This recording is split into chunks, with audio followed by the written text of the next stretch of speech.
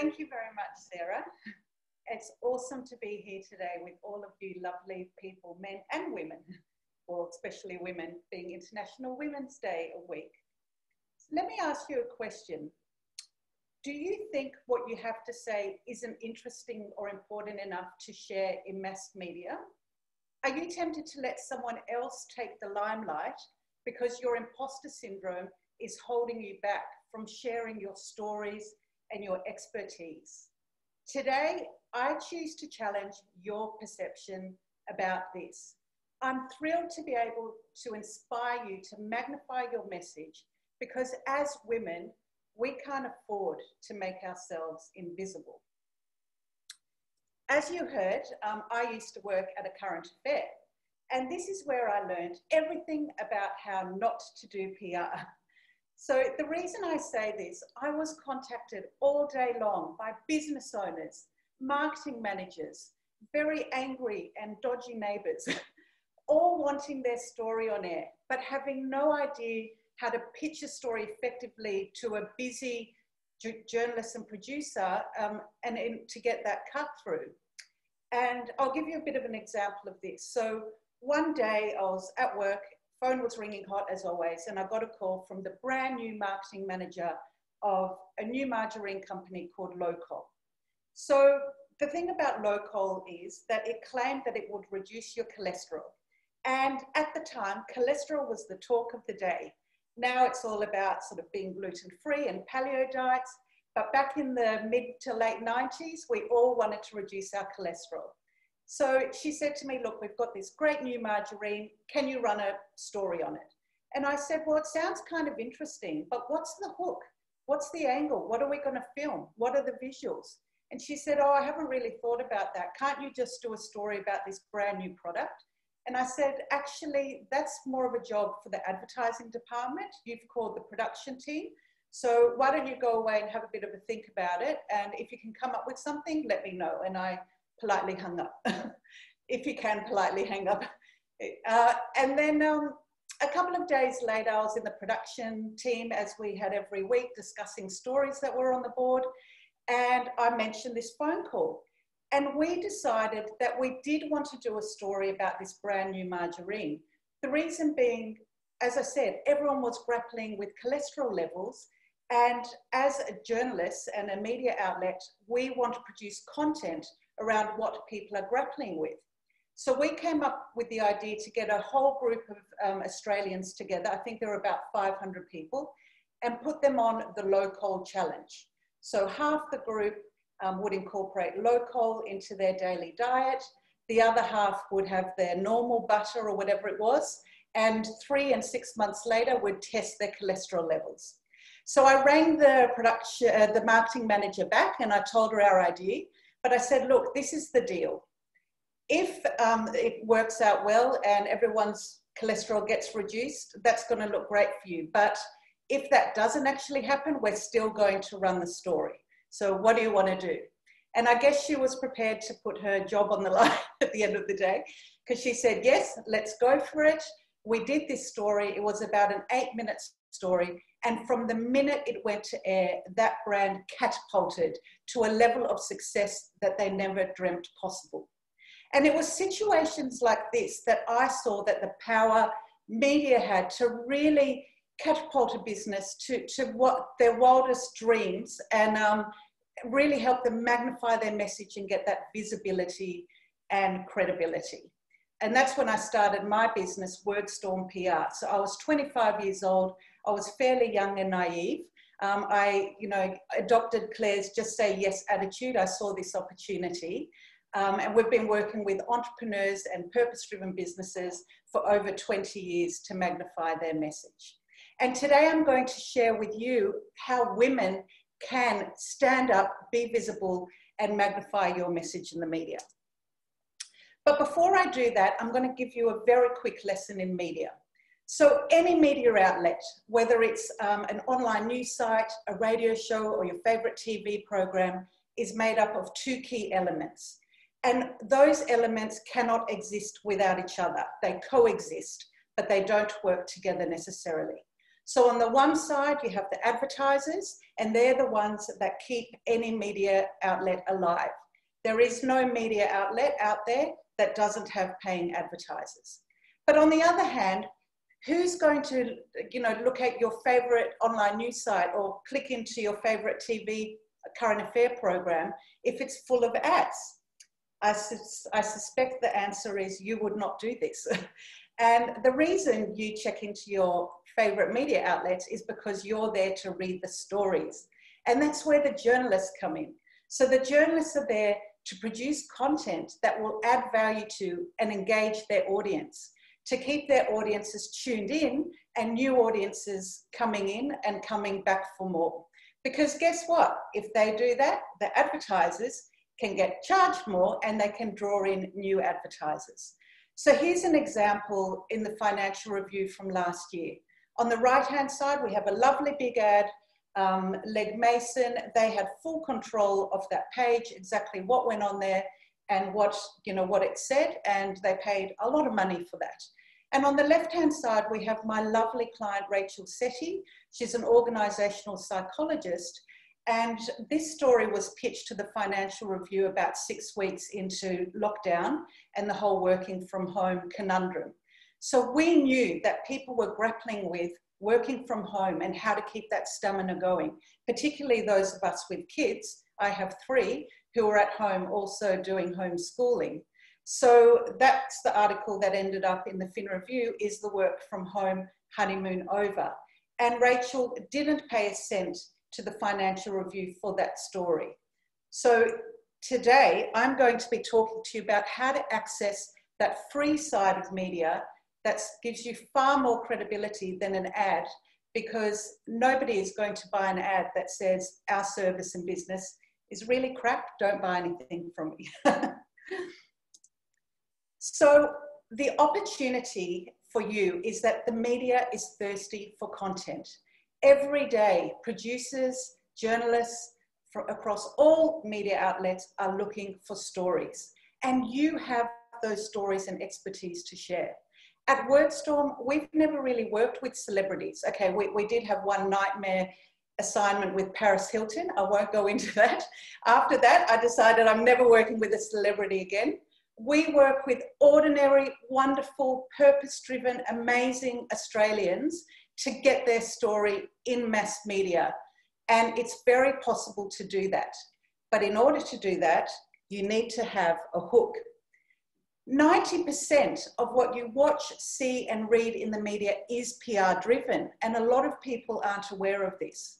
So, what that means is, you know, when you um, at your local cafe on the weekend, having brunch. Um, those of you have time, and I really hope you make time for those sorts of delicious things in life. And you're opening up, you know, your favorite, um, your Good Weekend or the Australian magazine, whatever it might be. Every story you read in there, 90% of those are come from businesses and individuals approaching the journalist to write a story about that. Um, or yeah, and the rest is sort of news-led articles. So, but the way you get into that 90% is by having a hook. So, by having a newsworthy hook, what it does is you're speaking to journalists in their language. So, when we work with a client, we layer their content over seven newsworthy hooks to make it instantly newsworthy and get cut through to a busy journalist. Now, today I have time to share three of the top sort of newsworthy hooks and angles that I use each and every day to get our clients in mass media. All right, the first hook, and this is probably my favorite, it's the business story, your entrepreneurial business story. But when most people think about pitching their business story to the media, they think they have to razzle and dazzle with exponential growth and huge numbers. But in actual fact, the journalist is more interested in the heart of the story. What inspired you to start your business and what challenges have you overcome? They actually want to see some vulnerability, um, and a bit of vulnerability makes a good human interest angle. Just think of reality TV shows. A lot of us are addicted to those, and I have signed off quite a few years ago on most of them, especially Married at First Sight. But anyway, Um, with the reason Australians love watching reality TV programs is because it's a bit like it's a bit voyeuristic and it's almost a bit like watching a train wreck happen and you feel like your life's you know you feel pretty good about your, your life um, so so too with entrepreneurial business stories. Share a bit of the heart and inspiration and challenges of your story to get that cut through. Here's an example. So one of our clients costume box is an amazing online retailer business. Um, you've probably heard of it. You've possibly bought costumes from there before. And I knew there was a really strong business story to be told. But I knew that going to the journalist and just saying costume box is an amazing business would not get cut through. So I chatted to my client, Nikki, and I said, Tell me about what happened before Costume Box. And I just kept digging and digging. What were you doing before? And what challenges have you overcome? And she told me that actually she had studied to be an archaeologist. Um, she did an archaeology degree and was ready to spend her whole life being an archaeologist. But on her very first dig, she hurt her back. Um, she could no longer do it. And, and then she, that dig, then she ended up being finding out she was pregnant. Um, and then she ended up in the obstetrician office where she happened to be in the waiting room with her future business partner because they got chatting about potential business ideas.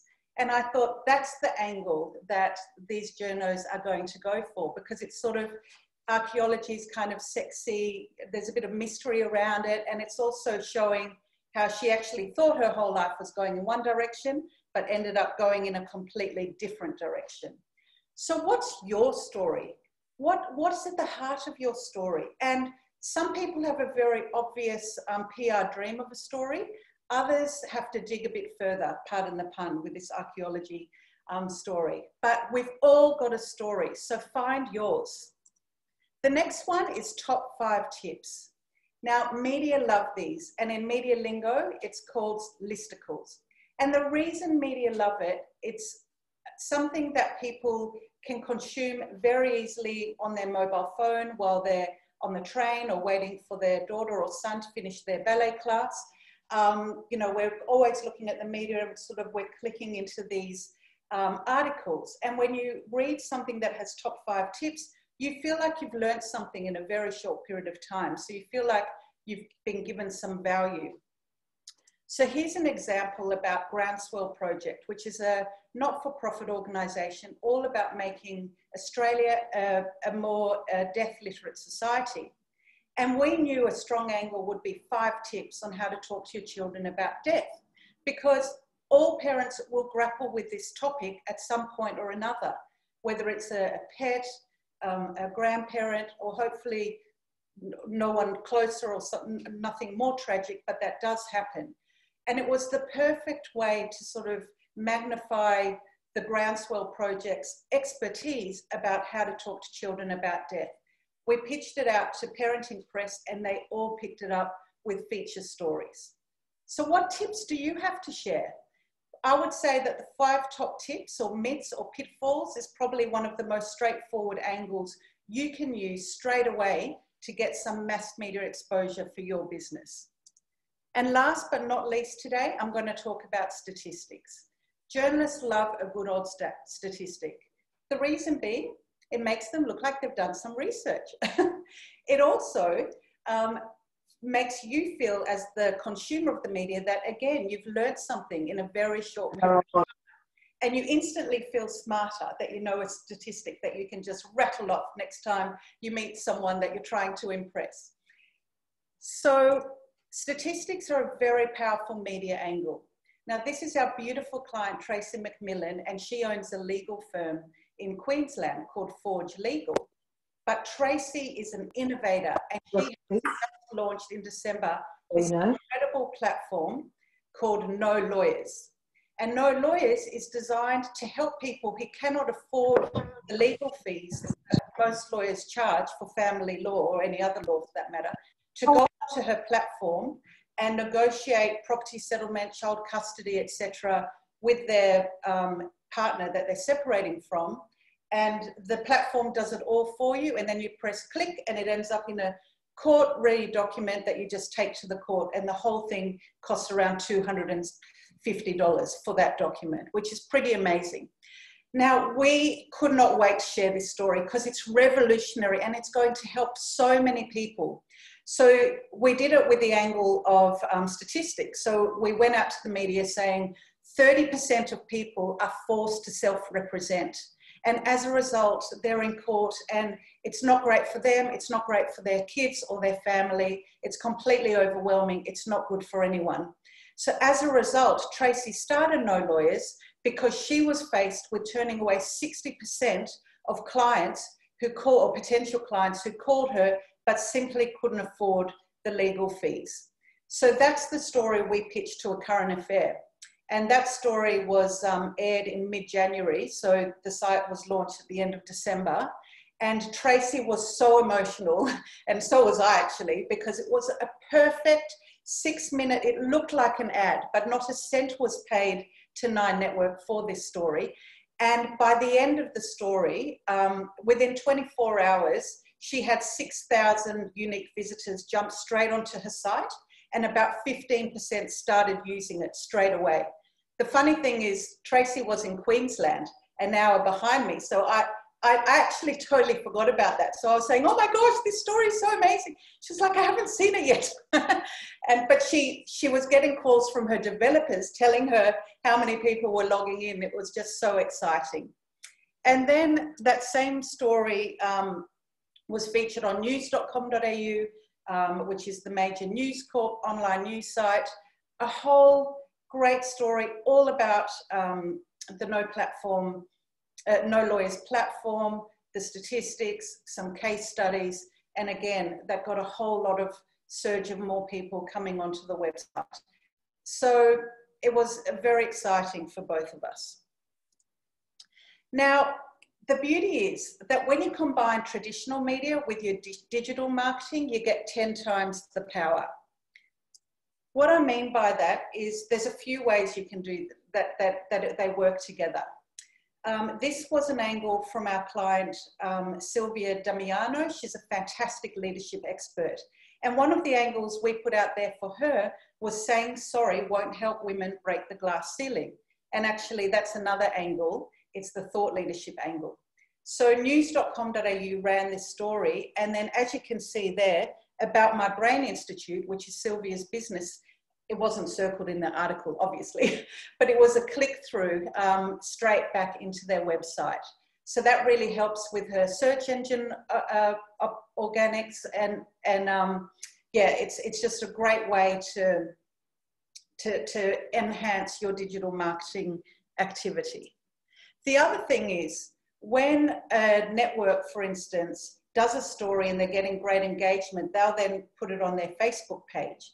And I don't know, no matter how well you look after your Facebook page and how much money you put into it, it's probably not as powerful as a Facebook page of a major media organization, um, like a TV station, for instance.